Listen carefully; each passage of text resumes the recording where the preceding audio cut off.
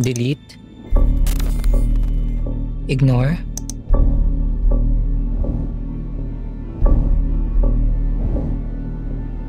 delete, delete. Companies decide what can stay up and what must be taken down. delete, Outsourcing should be disturbing to people in democratic societies. I need to be anonymous because we have a contract sign in. I-delete mo at kung ano yung mga bawal. Daily quota mo na pictures nasa 25,000. Talagang linisin ang mga marumi. Yun lang naman talaga yung goal namin eh. I wanted to quit already. kumukuha ako ng basura. Yun na naman siguro yung kakatakutan ko eh. Parang isa rin yun sa mga bagay na nag-drive sa akin kaya nag-aaral ako ng mabuti. Wala akong idea masyado sa ginagawa niya as moderator. Yung mga ibang video syempre, tumatatak pa rin sa isipan mo yung kahit paano. Panaginipan ko, iba't ibang klase ng ari. Why am I doing this? If you commit one mistake, it could trigger killing one's life. It could trigger war. If I didn't have social media, I wouldn't be able to get the word out. I probably wouldn't be standing here. Our decisions will impact what 2 billion people are thinking. The danger is that we might lose democracy because we're willing to give it up. Ignore, delete, ignore, delete, delete, ignore, delete, delete, ignore, delete, delete, ignore, delete, delete. I'm different from what I'm before. There's something wrong happening.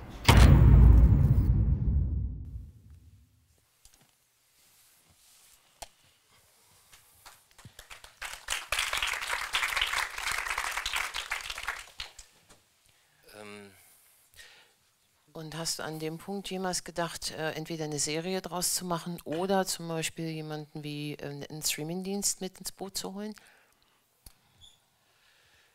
Naja, die, Gesch also, die Geschichte war jetzt hier, äh, wie finanziere ich so ein Ding, wenn ich jetzt schon das ganze Geld ausgegeben habe, womit ich einen Film machen wollte und habe jetzt aber eigentlich nur Zugang. Ähm, und ähm, wir haben, dann war klar, jetzt müssen wir überlegen, wie wir das Ding finanzieren, von, ähm, dass wir das nur international machen können. Wir haben hier ein Dilemma in Deutschland dann gehabt, dass wir nicht an Fördergelder rankommen, wenn wir eine investigative Geschichte machen mit den Kinosperren, die wir haben, war von Anfang an klar, das Commitment zwischen uns keine Kinoförderung, damit der Film nicht erst anderthalb, also nach zwei Jahren kommt.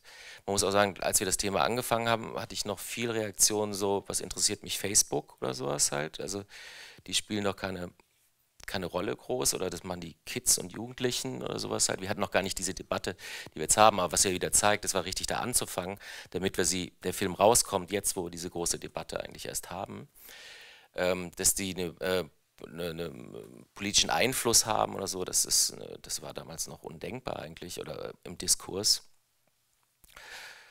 Und ähm, dadurch haben wir dann gesagt, okay, wir müssen jetzt auf den internationalen Markt international finanzieren.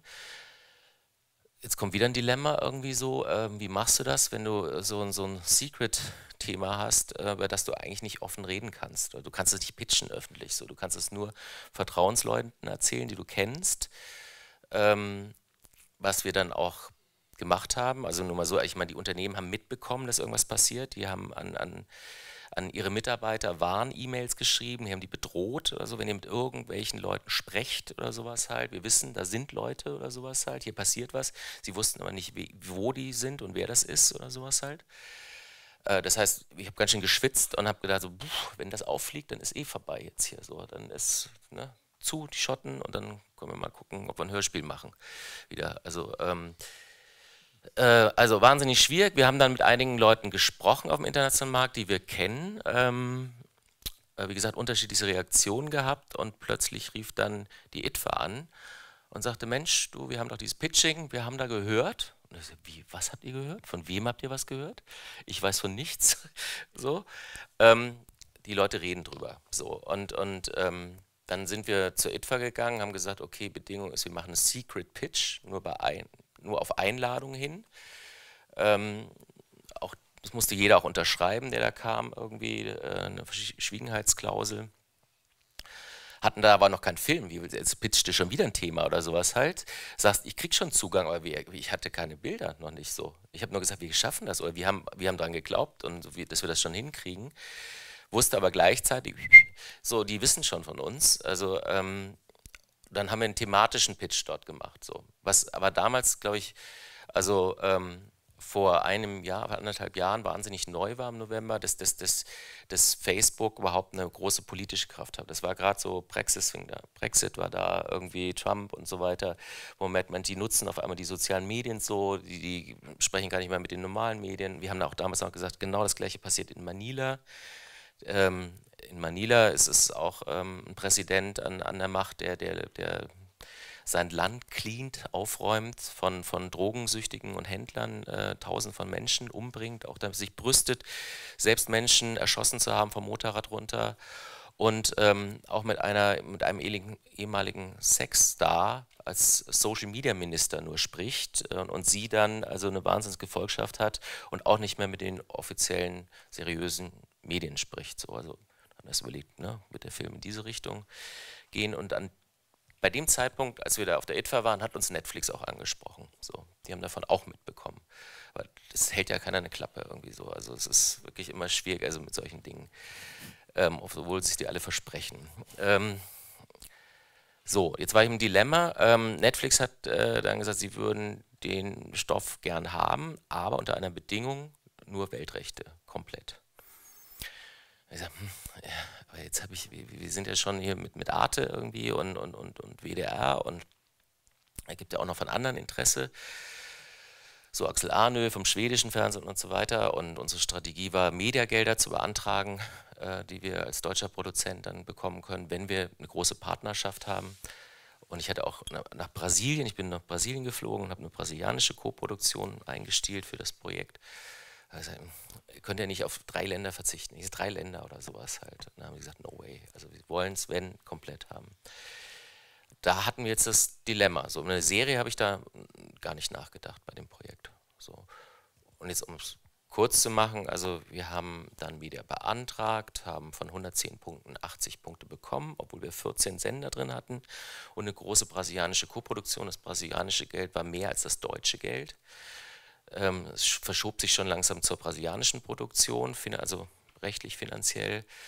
Ähm, wir haben gerade 80 Punkte bekommen, da war der Schnitt, mit 79 hätten wir Mediagelder gar nicht bekommen, also was man auch zeigt, ähm, wie groß die Chancen sind, diese europäischen Gelder noch zu bekommen als Deutscher. Unheimlich schwierig. Ähm, wir haben echt Schwein gehabt, Glück gehabt. Und haben dann ähm, ja, am Schluss das, das, den Film so mit 20 Partnern gemacht, ähm, hatten äh, Zugang gekriegt, haben äh, in, der, in der Produktion den Film ständig verändert. Also, also das ist jetzt auch, wie in den Ausschnitten zu sehen ist, ein Film geworden, der character-driven ist, aber trotzdem Experten drin hat und die politische Dimension erzählt, also was ähm, für viele Partner wichtig war. Wir hätten Film machen können nur in Manila, der günstig ist, oder man geht weltweit und bringt das Thema auch hoch, also wie, wie die politische Brisanz. Ähm, wir haben uns sehr hart erkämpft, Zugang zum Silicon Valley, haben so Top-Manager auch bekommen dann über verschiedenste Ecken. So, also auch das war alles extrem teuer, weil man dann irgendwie sagen musste, morgen nach New York und ein Treffen für 20 Minuten dann wieder zurückfliegen. Ähm, das hat alles geklappt. Ähm, wir haben viele investigative Journalisten. Wir haben alles, also bei uns, bei uns war der Guardian, äh, die Süddeutsche, die Zeit, irgendwie äh, New York Times gesprochen, so allem Möglichen. Ähm, ich habe allen nicht getraut, dass sie wirklich Zugang auch haben, was auch stimmte, schlussendlich, die Partnerschaften eingehen wollten. Also es war hochkomplex und ich habe als Produzent darauf gezielt und habe gesagt, okay, wir kriegen großen nordamerikanischen Kauf, Verkauf hin. Netflix hat schon Interesse gehabt ich halte Nordamerika jetzt frei. Das hat mich angetrieben, noch höher ins Risiko zu gehen. Das Budget hat sich dreimal verschoben von irgendwie 500.000 auf 700.000 auf 1,1 Millionen. Weil Netflix hatte ja das Jahr davor irgendwie so Icarus gekauft für 3 Millionen, irgendwie hat er Filme für 4,5 Millionen gekauft, 1,5 Millionen, 7,5 Millionen für einen Dokumentarfilm, 90 Minuten hingelegt. Die waren heiß, so. Die, und es hat geklappt, wir sind Sundance ausgewählt worden, wir haben den besten Vertrieb hinbekommen, der eigentlich nur große Oscar-Filme macht, ähm, ähm, Submarine in den USA als Sales Engine. So, ähm, sind da hingeflogen, das Ganze kostet ja auch nochmal 30.000 Euro, eine Wohnung da zu mieten und mit einem Team dahin zu fliegen. Uns haben alle eigentlich gesagt, Dienstag Champagnertag. Ne? Freitag fängt das Festival an, Dienstag Champagnerkühl stellen. So, ähm, unter der Droge sind wir da ungefähr dann hin, nüchtern noch. so. so, und dann kam der große Schock. Netflix hat sich komplett zurückgezogen. Es kam äh, äh, die Nachricht so, Netflix kauft nichts auf dem Sundance Film Festival. Amazon hat äh, äh, einen großen Krabscher gehabt als Manager, der auch in Harassment-Geschichten verwickelt war. Das heißt, die waren kopflos, ganz Amazon konnte nicht kaufen so. Ähm, die hatten zwar Screenings mit allen anderen oder sowas, halt mit Hulu und, und den ganzen anderen so. Schluss, für die war der Film zu dark, zu europäisch. Der ist schon auch dark. Gilt auch so Dark Noir-Film oder benannt. Ähm, so, und dann sind wir da wieder zurückgeflogen irgendwie, ähm, haben keinen Champagner gekauft, haben bei uns in der Küche gekocht, ne? war schön, Jutta. So, haben trotzdem die Premieren gefeiert, die alle ausverkauft waren, haben tolle Presse bekommen, Riesenpresse in den USA, ähm, aber haben den Film da einfach nicht unterbekommen. So, und das ist so die Anti-Case-Study, dass du dich total verkalkulieren kannst, äh, dass der Markt wahnsinnig dynamisch gerade ist, weil es diese neuen Player gibt und unheimlich nervös auch so. Also der schlägt aus in eine Richtung genauso wie in die andere Richtung. Würdest du sagen, das liegt auch an investigativen Formaten, dass man einfach eine große Vorarbeit ähm, leisten muss, bevor man überhaupt Bilder bekommt? Dass du deine Protagonisten finden musst, du musst das Thema gut recherchieren und so weiter. Also hat das was auch mit dem, mit dem investigativen Format zu tun. Ja absolut, ja, absolut. Also wenn du jetzt nicht ein investigatives Format hast zu Stones and Bones, also zu irgendwelchen Gräbern, die hunderttausende Jahre alt sind, sondern zu was, was, was jetzt, äh, jetzt passiert, ähm, haben wir das Problem, dass wir, die, dass wir nicht wissen, was für ein Film das wird am Schluss. So. Ob das ein Film wird, so, es ist, ähm, wie der aussieht, wen wir bekommen. Also das war immer auf der Kippe, der ganze Kram. Also so, ich meine, zwischendrin wurde, kam dann noch die Süddeutsche Zeitung und hat dann darüber berichtet, dass es ja äh, auch so, so Cleaners in, in Berlin gibt oder sowas halt. Da dachte ich ja auch wieder, jetzt, das war's oder sowas halt mit dem ganzen Film.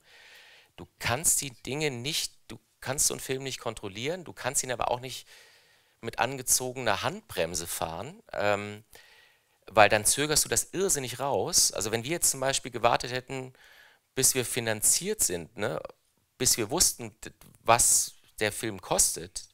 Ich meine, wir haben im Dezember, Mitte Dezember noch gedreht und hatten am 10. Januar Premiere Sundance. So.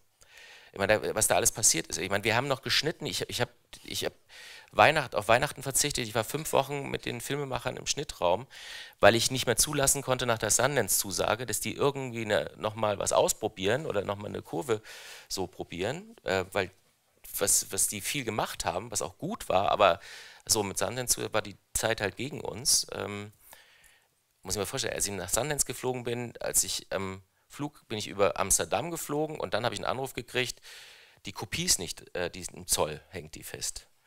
So, äh, dann habe ich gesagt, na scheiß drauf, dann macht einen Upload dahin. Und das dauert zwei Tage. Äh, das heißt, ich bin da in den Flieger gestiegen und wusste gar nicht, ob wir den Film am nächsten Tag zeigen können. Es, also wir, wir haben auch die unter uns da immer, äh, wird jetzt nicht angelogen, sondern wir haben immer gesagt, ja, kommt morgen der Film oder sowas halt. Das haben wir über sechs Wochen denen immer gesagt. So, morgen kriegt ihr einen Film, morgen kriegt ihr einen Film, damit wir nicht rausfliegen wieder, weil der Film ja noch gar nicht fertig war. Wir hatten 40 Minuten irgendwie geschnitten als, als wir angenommen worden sind. Also es war ein Wahnsinnsritt.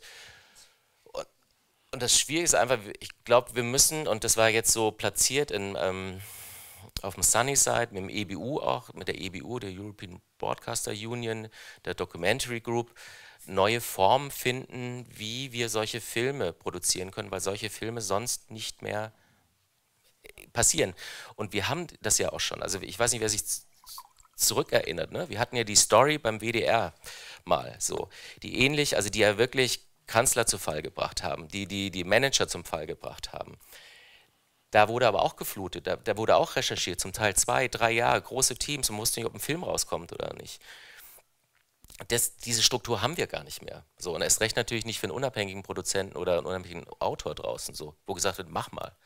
Ähm, und wenn wir jetzt wieder zurückkommen zu den Streaming-Diensten, also wir haben eine totale, also es ist eine Verschiebung, eine tektonische, gerade auf dem Markt, dass du da auf der einen Seite hast, entweder du machst es ganz günstig, du machst eine Reportage, du, du, du legst los, drehst das Ding, schneidest das in 10 Tagen, 14 Tagen oder was weiß ich, oder ein Bedürfnis nach extremst aufwendigen Filmen, die, die wahnsinnig teuer sind, so in der Herstellung.